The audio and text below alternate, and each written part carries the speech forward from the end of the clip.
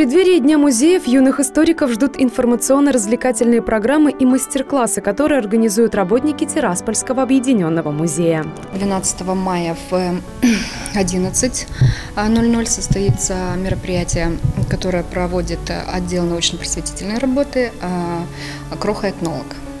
А также у нас планируется мастер-класс который проводит отдел картинной галереи, филиал картинной галереи.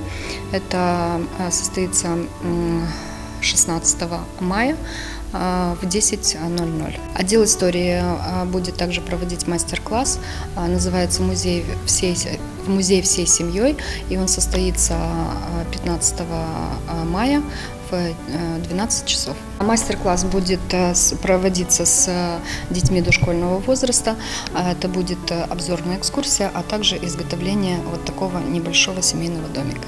По всем вопросам, касающимся наших мероприятий, цикла мероприятий к Международному дню музеев, можно обратиться по номеру телефона 90449, и сотрудник, курирующий эти мероприятия, ответит на все вопросы.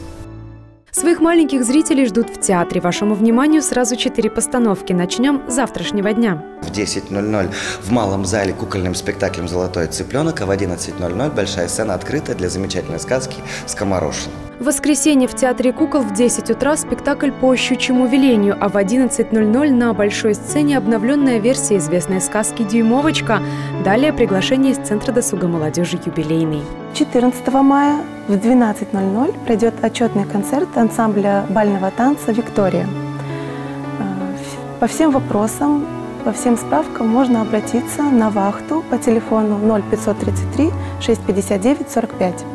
17 мая в 13.00 детей и их родителей ждут в культурно-досуговом центре «Мир», чтобы разгадать тайны лесного озера.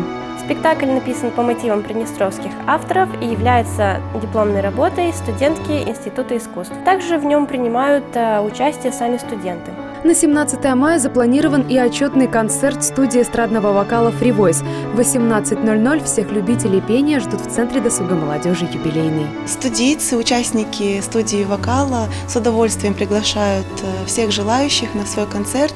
С нетерпением ждут э, своего зрителя, так как они очень долго готовились и очень трепетно относятся к данному мероприятию.